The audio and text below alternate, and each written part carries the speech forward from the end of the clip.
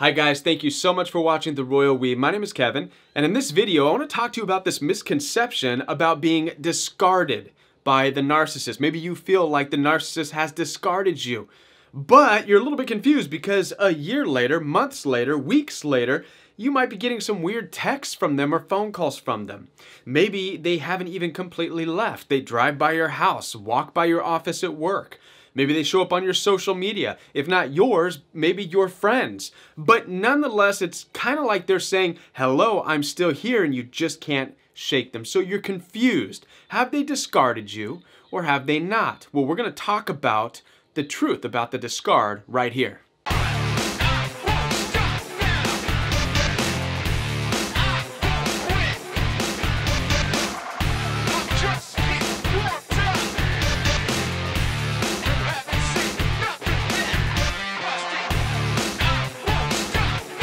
Okay, guys, so before we can talk about being discarded by the narcissist, I think it's important that we talk about something else. And that's being regarded by the narcissist. Because if you can understand how the narcissist has regarded you in the relationship, it's going to help you to understand how the narcissist has discarded you in the relationship. So, what's being regarded all about? Well, being regarded is being admired, being uh, esteemed, being loved, being valued, being cherished, being honored, being respected, all these things. And we know that that's not the way in which the relationship was. That's not what the narcissist had for you. The narcissist did not show you any respect, any love, any value. None of that stuff. It's important to understand this because having these things is a conscious level exercise. You have to consciously choose to love somebody, to have compassion for them, to honor them, to respect them, to value them. These are conscious level things that people have towards one another, right? So if you understand this, then you'll also understand that discarding somebody is also a conscious level thing. It's from that same effort. You have to consciously discard somebody when you realize that they are no longer useful in your life. We're going to talk more about this later in this video.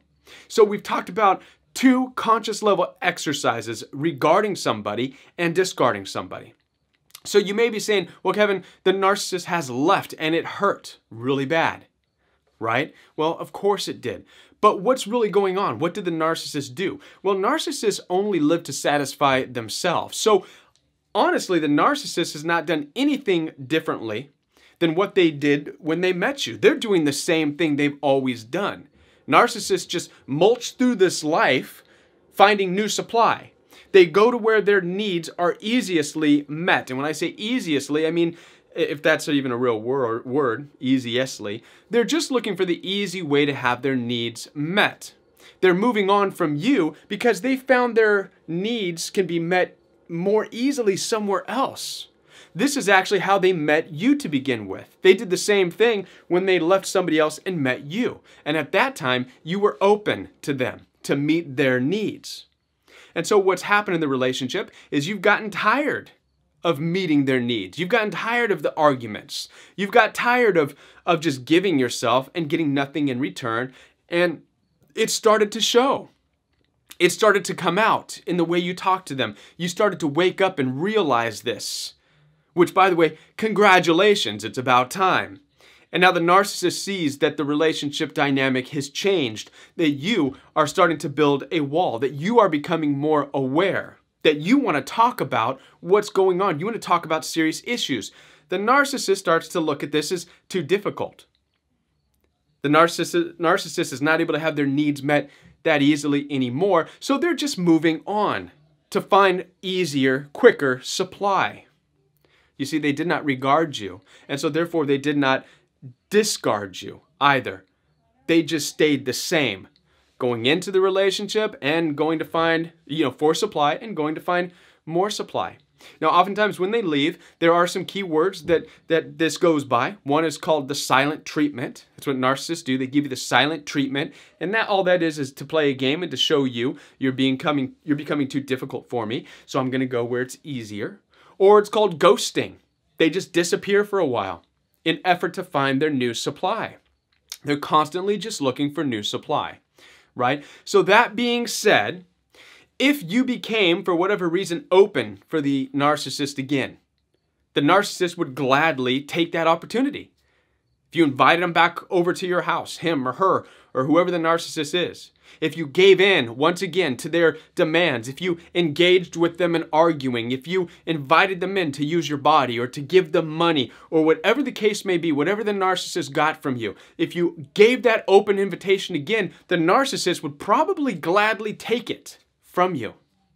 So if this is true, then you have not been discarded. Because it, it would be impossible for someone to discard you, but then yet find use for you. The narcissist did not discard you. The narcissist is just doing what they're doing, playing games. It's important to understand this. So now then, let's talk about the discard. What is a discard? Discard is to literally throw away trash, something that's not useful. So I want you to think about this with me all the anger in your life, all the frustration, all the pain, the toxic relationship, everything that's built up inside of you right now, the crying, the anger, the hurt, this is all toxic waste that's built up in your life, it's built up in your heart, it's built up in your mind, the, the tension, the pressure. This is all stuff that needs to be dumped out of you. And now for the good part. When we talk about a discard, a discard is now a conscious choice to dump something from your life. I think you understand where I'm going with this, guys. The discard, a true discard, can only come from you. You have the power to discard. You have the authority to discard. Why? Because a discard is a conscious level exercise. You are consciously dumping the toxic waste from your life.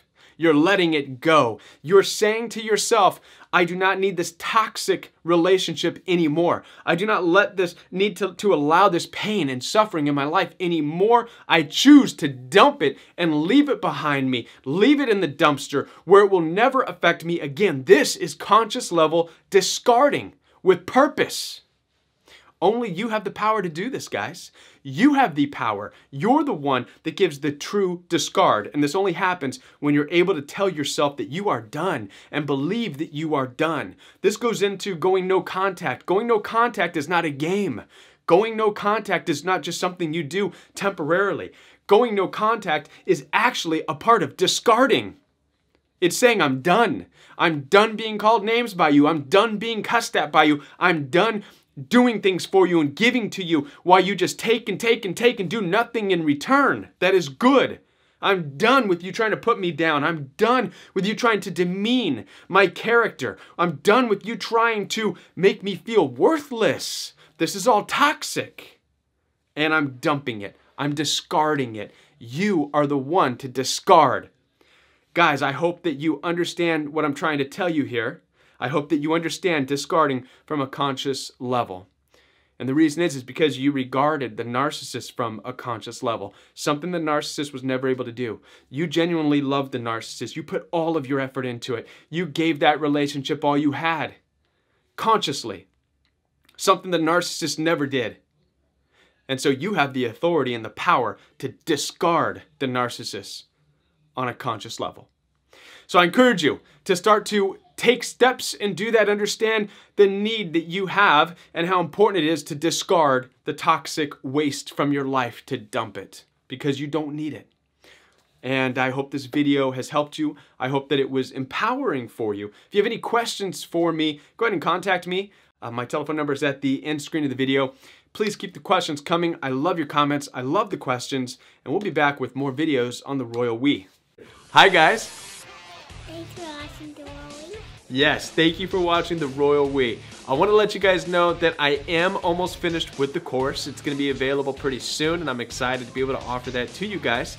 I also want to let you guys know that I'm thankful for all of your phone calls. You can continue to contact me. It's absolutely free.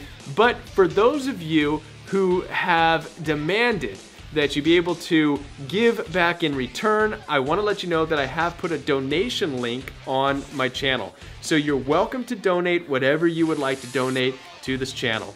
And you don't have to. That's completely up to you. Bless you guys. Thank you. Be sure to hit that like and subscribe button if you're not already a subscriber. And we will be back with more right here on the Royal We. While you look at the camera, Just- you gotta stay looking at the camera, okay? Okay. All right, here we Guys. go. I'll say hi and then you say hi. No, no, no finger in the nose. You gotta be professional. You.